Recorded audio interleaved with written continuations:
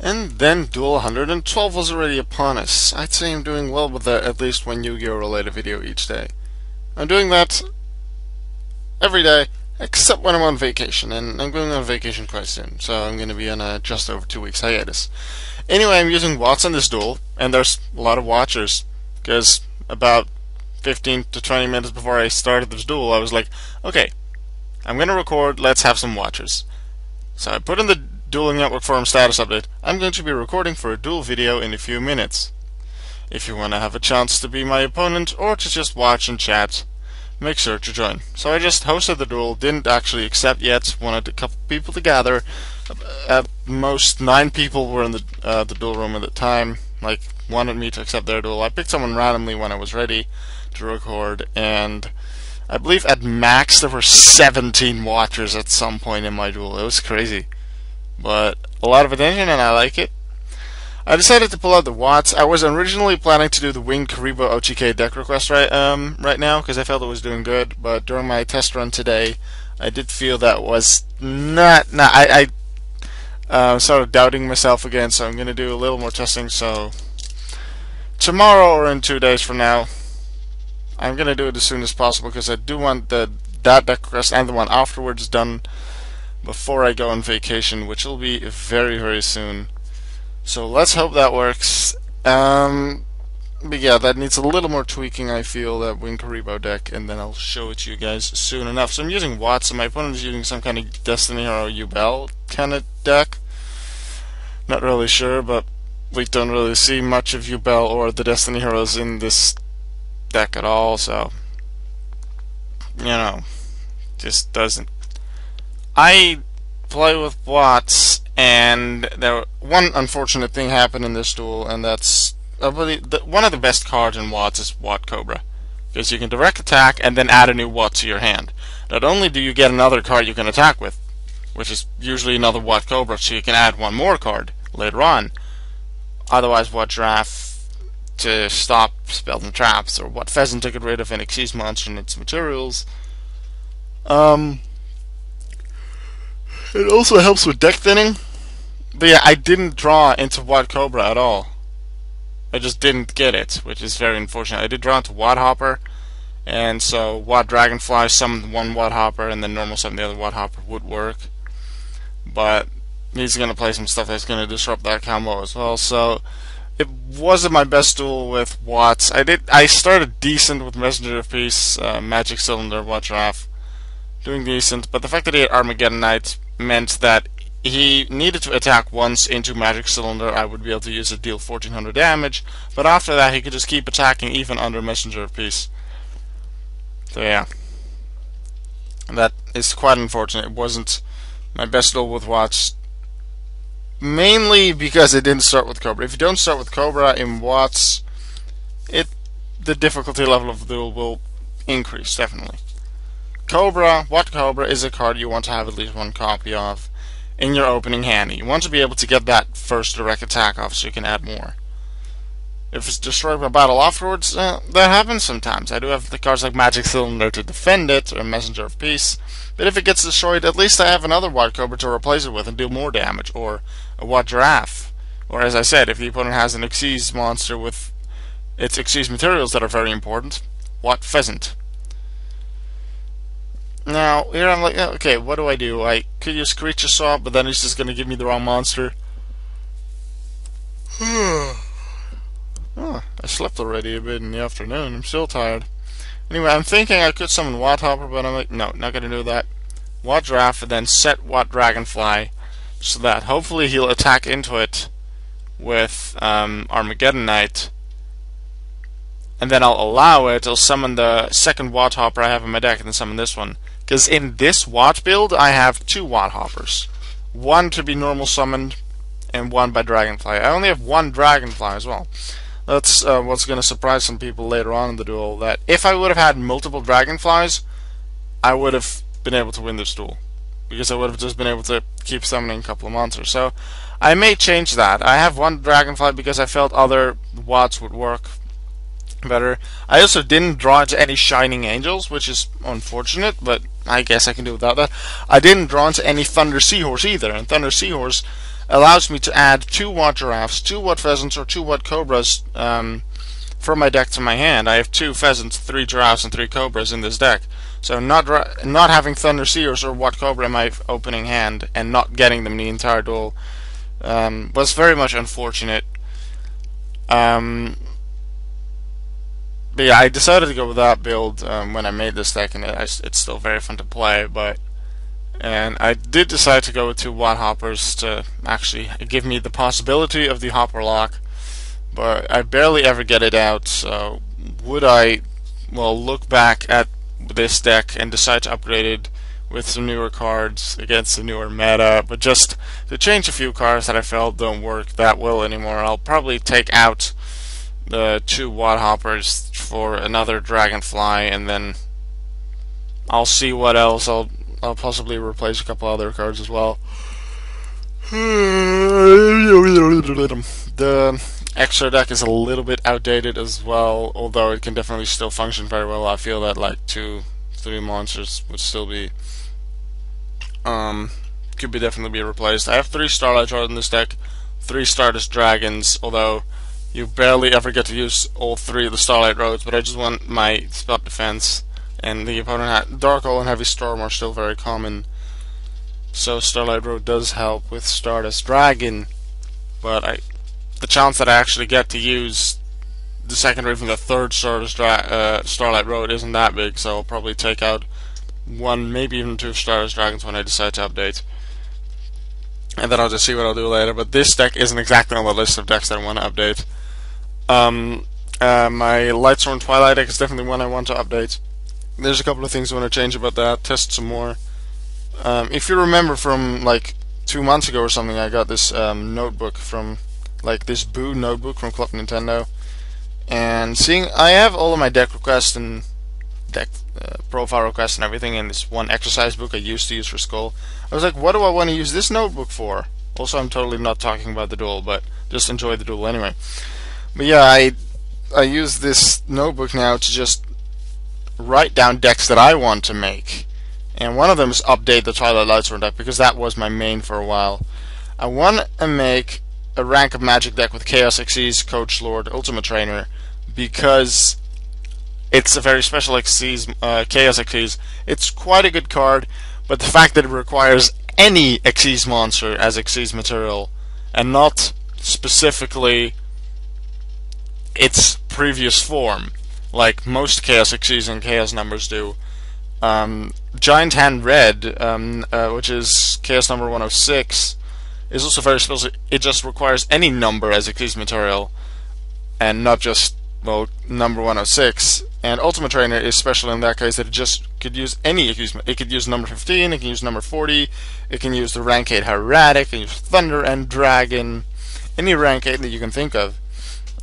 That's something I want to work on, and a 3 Axis Firefish as well, and they'll come up with many more decks.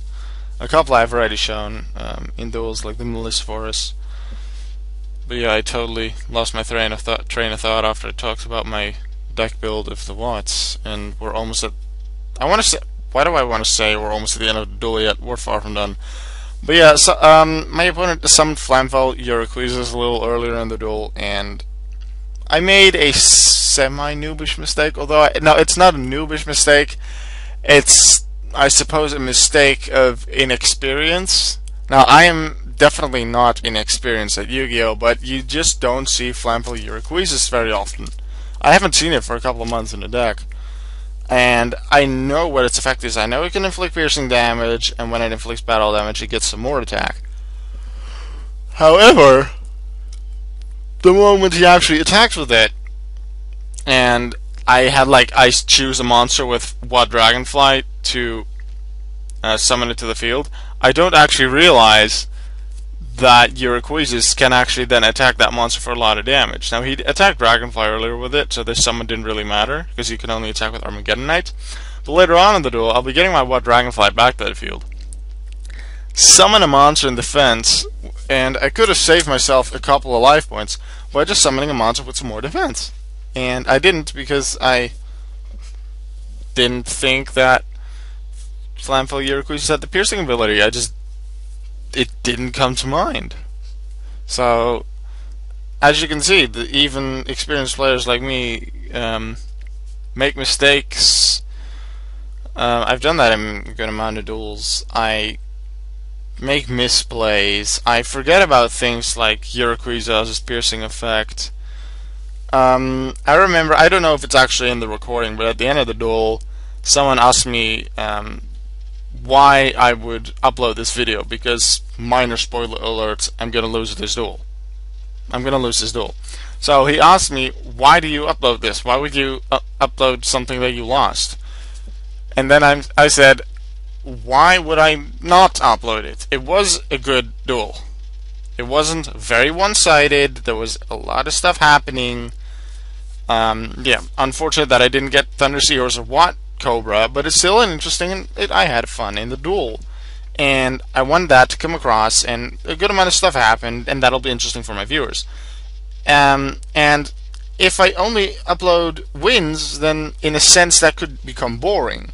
It become boring because yeah, he's gonna win anyway. We know what's gonna happen. So ooh, because uh, in the losing position, but then you know I'm gonna top deck. You're not just hoping it or not hoping it. You just know it's gonna happen because Auke only uploads wins. But seeing as I don't, in that sense, it becomes a bit more interesting and less boring. Um, and also, if I would only upload wins, that would also seem, I suppose, more egocentrical for me, and I don't want to have people think of me as a very egocentrical person. In a sense, I sort of am, but really, you know, overall, I'm not, I guess but I'm not the I'm not the one to judge that. Like I feel about myself in a certain way, but it's um, others that, that if I'm truly like how I am in that sense. But yeah, if I only upload wins, and I remember, I must have been almost a year ago that I was talking to someone about some Yugi tubers, and no, it was actually a, a PokeTuber who only uploaded uh, Wi-Fi battles that he won. He never uploaded a loss. And I'm like, okay, that's that shows the strengths of his his his team. I want to say Dex because it's Yu-Gi-Oh, but he it's the strength of his team that are shown by then. But a lot of people didn't like that because he won anyway, and they didn't like him because uh, he only uploads wins. He's yeah, I, I don't exactly remember what they said about him, but the words weren't very nice.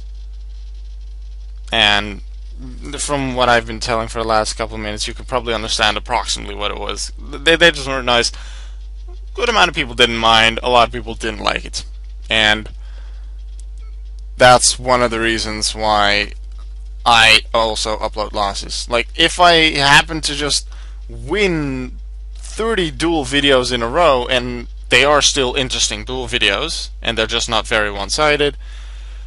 And then I'll just upload them uh, if I win them all. And if I happen to lose 30 duel videos in a row, sure, as long as I get to actually show my deck, and it's not too one-sided, then I'll just upload it. I'll just do it. I don't mind losing. It's part of the game. If I would only win the duels, then it wouldn't be that interesting for me to play. Because sure, I'm extremely competitive, and people around me know that, especially my mom. um, because she knows I'm very, very competitive, and my friends know that a good amount of my friends know that I'm very competitive. And I really, really want to win. I will do a lot of things to get myself uh, to climb victory. If I lose, I can get quite angry at times, but otherwise I'm like, doesn't matter. I had fun. Unfortunate and I'll feel bad for a little while, but then I'm like, oh, cheer up. I had a fun duel. You can't win everything. Because as I said, if you win everything, then a lot of the fun goes away. You want to win a lot, but if you win everything, the fun just goes away. You just, it's not fun. So, yeah. This is almost the end of the duel. And I haven't been talking about the duel much, so... Okay, let me guys, um, guys, let me know in the comments. What did you actually think of this narration? It was I got distracted. Talk about some other stuff. This won't happen often, I can tell you that. But not that because not that I want. I'm planning to do this more often, but I just want to. I just want to know how you just felt about this narration. Because it may happen that I get distracted and talk about these kind of things um, some more. I talked about a couple of different subjects. Um, but if you really don't like what I said, the way I talked in this narration of this video, then just let me know in the comments. Just use nice words. I'll, I'll listen to you. And I'll just listen to that, and when I feel I get distracted during a narration, then I'll do my best to get myself back on track in the duel. And but if you don't mind it, then occasionally I may do it this way. Um, so yeah, he um, got an he got an exact finish with Dark Grepher. Unfortunate. No Thunder Seahorse, no Watt Cobra. That Billy beat me. I don't know. He he said he made a misplay about halfway through the duel. I wonder what he. I didn't exactly look into what he could have done back then, but he he won. It was a good duel. I had fun. Nick Extreme won. Thank you. And all of the watchers that came and chatted, it was fun too. Although halfway through the duel, if you like go back and read the chats, it there were some not very nice words. There were some FUs. There was some things that totally weren't related to the duel. Although, as long as there's no fighting and arguing and FUs and that kind of stuff, then I'm fine uh, with that. So, I'm happy a lot of people came. Um, I hope they enjoyed the duel as much as I did. Or even more. That'd be great. If they enjoyed it even more than me, then even better. I'm going to see you guys later. I'm going to do some other things, and see you later, you know? Because, you know, yeah, I, I do these kind of things. I will see you later, because I'm going to make more videos. Bye!